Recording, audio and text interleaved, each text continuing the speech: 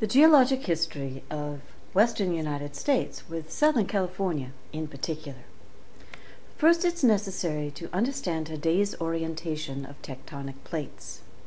We have the North American plate, here made of continental crust, and the Oceanic Pacific plate.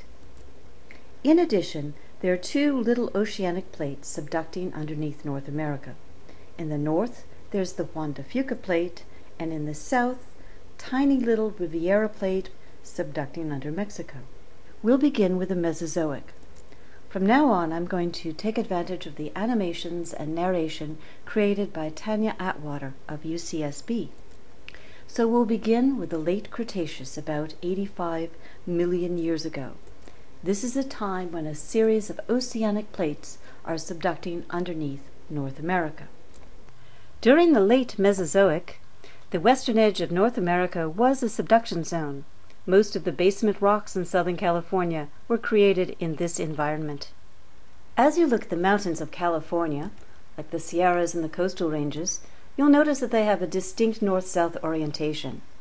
This is a direct result of the subduction that went on during the Mesozoic and the early Cenozoic. Now we're going to move ahead to the Cenozoic, 40 million years ago. The Farallon is the last of a series of plates that subducted underneath North America. In the following sequence, we will keep the North American plate stable and watch as the Pacific rise moves toward North America. Remember, we're keeping it stable, but in fact, all plates are moving relative to all other plates. Notice that Nevada is really skinny and that Baja Mexico doesn't even exist yet. Here the East Pacific rise has hit the North American plate and split the Farallon plate into two smaller plates. The contact between those plates is the San Andreas Fault.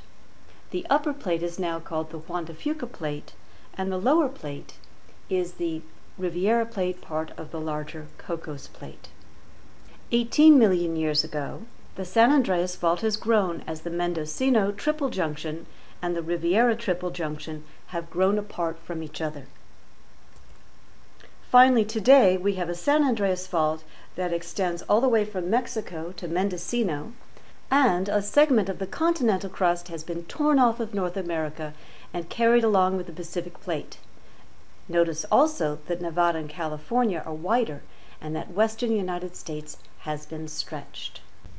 Notice how the East Pacific Rise spreading center separating the Farallon Plate from the Pacific Plate migrates toward the subduction zone. The contact becomes the San Andreas Fault, and the Pacific Plate breaks off pieces of North America and carries them away, creating the San Andreas Gulf of California plate boundary inside the continent. Now what happens to the interior of North America during the late Cenozoic it expanded, forming the Basin and Range province, which is hot, weak, and easily stretched and broken. Notice that skinny Nevada filled out as the rim of the continent got pulled away by the movement of the Pacific Plate. Now we will concentrate on Southern California. Notice the locations of San Francisco, Santa Barbara, and San Diego 20 million years ago. At present, Santa Barbara is rotated and Baja California has pulled away from Mexico. Let's see how this was accomplished. During the Miocene, coastal fragments of California were transferred to the Pacific Plate. The block containing Santa Barbara was rotated in the process. Five million years ago, Baja California was transferred to the Pacific Plate as one coherent block. How do we know that the block containing Santa Barbara rotated? The most compelling evidence is paleomagnetic. As lava cools, the magnetite crystals line up with the Earth's magnetic field, so they act as compasses pointing north. 20 million years ago, igneous rock containing crystals pointing north are shown by these dark blue lines. Watch in the animation what happens to these rocks as well as new igneous rocks that formed in the process. You can see the block starting to rotate, even new rocks form with their orientation, until finally that block is totally rotated and the old rocks are pointing east instead of north.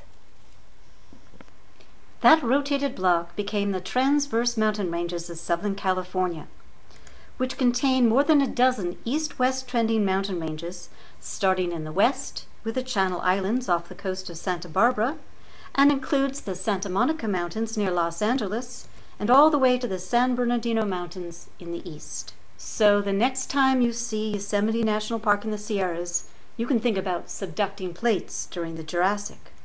Or the Hollywood sign in Los Angeles, you'll know that it sits on top of a slice of North America that was captured and rotated by its new owner, the Pacific Plate. And finally, there's the San Andreas Fault, one of the very few transform fault boundaries located within a continent. Since we live so close to a transform fault boundary, we're subjected to earthquakes. But that's another story.